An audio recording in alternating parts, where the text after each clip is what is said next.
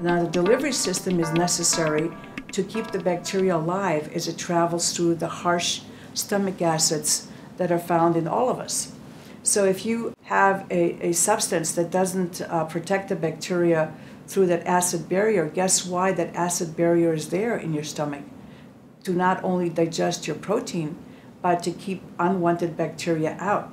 So, it not only keeps out the bad bacteria, it keeps out the good bacteria.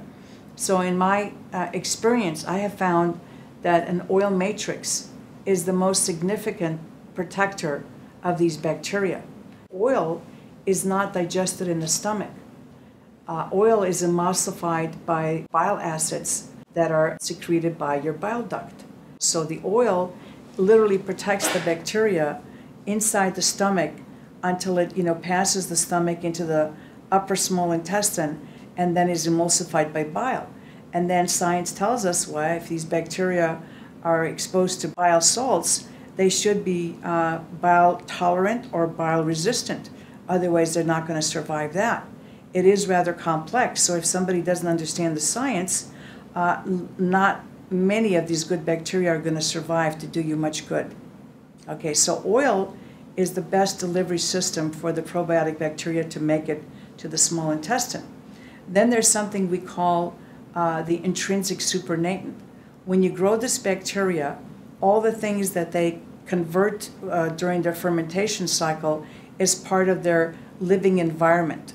Uh, what most manufacturers do is that they separate the bacteria cells from this living environment because it's a lot cheaper to uh, freeze dry just the concentration of the cells than to freeze dry all of it together.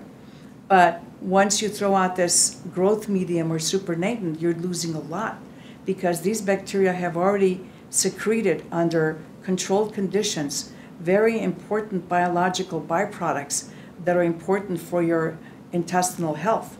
Uh, one of the many things that they secrete is called the bacteriocin, which are natural an- antagonists to pathogens or bad bacteria that are found in your GI tract. Uh, they could be a source of peptides, amino acids, uh, a host of other beneficial uh, byproducts that are found in that supernatant.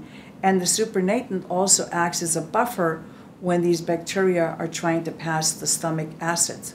So, uh, a product that has its intrinsic uh, supernatant can be uh, almost 50% more beneficial than a product who does not have its supernatant. So you have to look for a product that has the supernatant in it as well. And many people uh, assume that probiotics that are uh, put in enteric-coated capsule is a sufficient protection or delivery system. Well, there is no proof that enteric coating protects, uh, you know, probiotic products. Uh, there's people who have so, so-called tested the enteric coating in their internal laboratory but there's no third party verification that it's good. And one thing I do know about enteric coating is that it exposes the bacteria to a lot of moisture. If you expose the bacteria to a lot of moisture during the shelf life, they're going to rapidly start multiplying and die. So maybe you have or you don't have some protection with the enteric coating through the stomach acid, but if the bacteria die because there's too much moisture caused by the enteric coating, you may have nothing left to protect in the uh, first place. So that's what I, I'm just giving you the basics right now because you need to be asking those three questions. Avoid it enteric coating, look for a manufacturer who knows about the delivery system and has chosen the bacteria because of their uh, high quality and their ability to survive uh, the harsh stomach environment.